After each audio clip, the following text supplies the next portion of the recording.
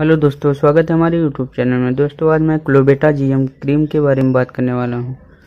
दोस्तों, आप इसमें देख सकते हैं clobetasol, propionate, neomycin, sulphate, econazole, zinc oxide and borax cream के का मिश्रण के साथ आता है।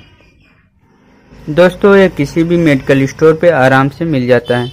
दोस्तों, इसकी प्राइस फिफ्टी रुपये है। तो दोस्तों ये लेब्रोट कंपनी के द्वारा बनाया गया है। दोस्तों, शुरू करने से पहले अगर आपने हमारे चैनल को सब्सक्राइब नहीं किया तो सब्सक्राइब कर लें, साथ में बेल के आइकन को भी दबा दें, जिससे आने वाली वीडियो की नोटिफिकेशन आपको सबसे पहले मिल सके। तो दोस्तों क्लोबेटा जीएम का यूज़ आप स्किन इन्फेक्शन के लिए दांत हो गया हो, फोड़े, फुंसी, घाव व जले हुए स्थानों पे भी लगा सकते हैं। अगर आपको कांच हो गया हो कांच आप जानते हैं प्राइवेट पार्ट के अगल बगल हो जाते हैं। तो उसमें बहुत ही जल्दी ये फ़ायदा करता है। दो, तीन दिन में आप बिल्कुल उससे छुटकारा पा जाएँगे।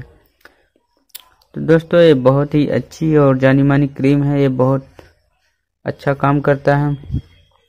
दोस्तों, इसके लगाने के बाद कुछ साइड इफ़ेक्ट भी हैं।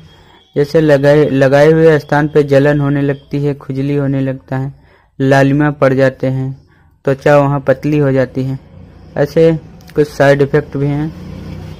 तो दोस्तों, इसका यूज़ जिस स्थान पे किया जाता है, उसको अच्छी तरह से पहले सफ़ाई कर लें, उसके बाद उसको वहाँ लगाएँ।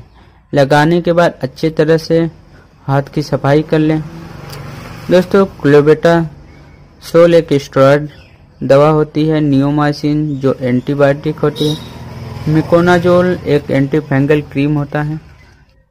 तो दोस्तों, इसी यौगिक के साथ इसको बनाया गया है। तो दोस्तों, मिलते हैं किसी नए वीडियो के साथ, नए टॉपिक पे बात करेंगे। तो धन्यवाद।